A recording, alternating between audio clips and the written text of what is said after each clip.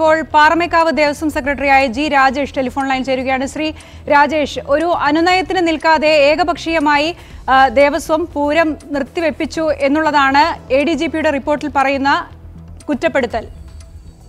ഞാൻ ഈ റിപ്പോർട്ട് കാണുകയുണ്ടായിട്ടില്ല പക്ഷേ പാറമേക്കാവ് ദേവസ്വത്തിന്റെ ഭാഗത്തുനിന്ന് പൂരം നിർത്തിവെക്കാനോ ഇത് എന്തെങ്കിലും രീതിയിൽ കളങ്കപ്പെടുത്താനോ ഒരു ശ്രമം ഉണ്ടായിട്ടില്ല.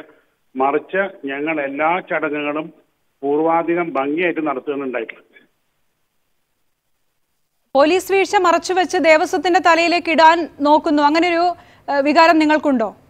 അല്ല പാറമേക്കാവിന്റെ പേരിൽ വരാൻ ഒരു സാധ്യതയില്ല എന്തുകൊണ്ട് പാറമേക്കാവ് ചെയ്തിട്ടില്ല.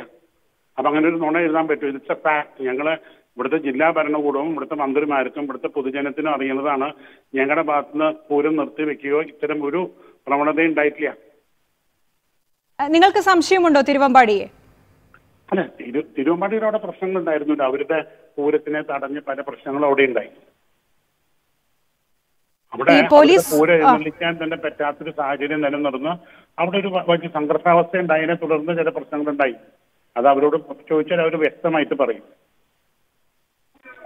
ഈ പോലീസ് ഏകോപനത്തിലെ വീഴ്ചയെല്ലാം മാറ്റിക്കൊണ്ട് ദേവസ്വത്തെ കുറ്റപ്പെടുത്തിയുള്ള ഒരു റിപ്പോർട്ടാണ് എ ഡി ജി പി സർക്കാരിന് നൽകാൻ പോകുന്നത്. ഏതെങ്കിലും തരത്തിലൊരു പുതിയ അന്വേഷണം വേണമെന്ന ആവശ്യം നിങ്ങൾക്കുണ്ടോ? എ ഡി ജി പിക്ക് ആ രീതിയിലൊരു റിപ്പോർട്ട് നൽകി ഒഴിഞ്ഞു മാറാൻ കഴിയുമോ?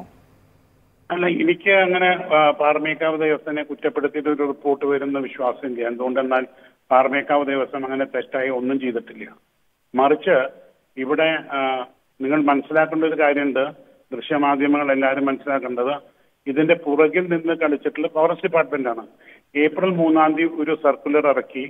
മൂന്ന് മീറ്റർ അകലച്ച മതിയെന്ന് ആനയും മേളക്കാരും തമ്മിൽ അത് പതിനൊന്നാം തീയതി പന്ത്രണ്ടാം തീയതി ആകുമ്പോഴേക്ക് അത് അമ്പത് മീറ്റർ ഇരുന്നൂറ് അടി വ്യത്യാസം വേണം എന്ന് പറഞ്ഞ് ആവശ്യപ്പെട്ട് സർക്കുലർ ഇറക്കി.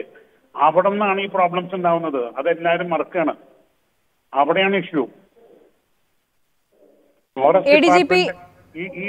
തീരുമാനത്തിന്റെ പിന്നിൽ എന്താണ് എന്താണ് അവരെ എന്താണ് അതിന്റെ ലോജിക്ക് എന്താണ് റാഷണൽ ഇരുന്നൂറടി ആ, വ്യത്യാസം വരുത്തിയാൽ എന്താ ഗുണം ഉണ്ടാവുക അല്ലെങ്കിൽ എന്താ ദോഷം ഉണ്ടാവുക എന്നൊരു മൈൻഡ് അപ്ലൈ ചെയ്തിട്ടുള്ള തീരുമാനമാണോ? അതൊരു റാൻഡം തീരുമാനമാണോ? അത് അതോ ഇത് മനഃപൂർവം കടക്കാനുള്ള തീരുമാനമാണോ എന്നുള്ളത് സി ബി ഐ അന്വേഷിച്ചാൽ മാത്രമേ തിരിച്ചറിയുള്ളൂ.